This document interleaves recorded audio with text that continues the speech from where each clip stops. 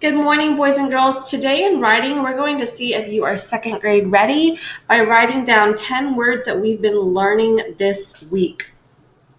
Okay, you're going to need a piece of paper and a pencil. Please number your paper 1 through 10, just like I have here, and then write your name just so that your teacher knows that this is your paper and it's easier for them to grade.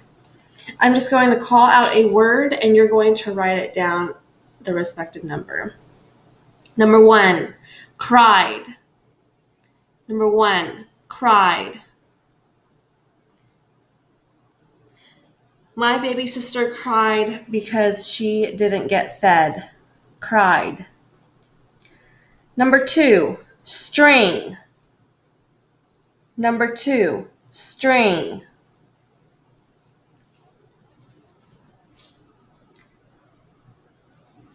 I had a piece of string.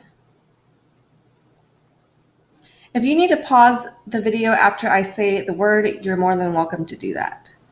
Number three, friend. Number three, friend. I have a friend named Layla. Number four, sing.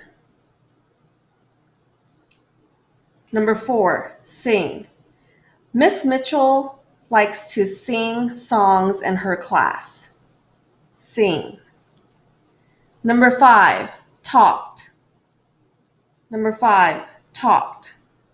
I talked on the phone with my mom. Talked.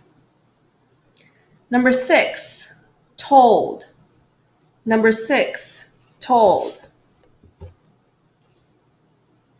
Miss McDade told me a story.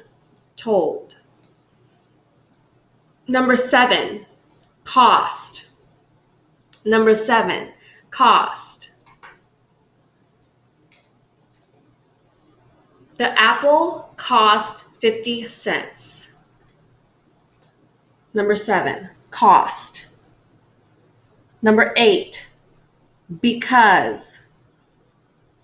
Number eight, because we are at home right now so that we can stay safe and healthy. Because. Number nine, ran. Number nine, ran. The dog ran away from me. And then number 10, first. Number 10, first. She is first in line. Make sure that after you're done writing your words down, that you or your parent takes a picture and uploads it on Dojo for your teacher to grade. Thank you so much for watching my video today. See you guys tomorrow.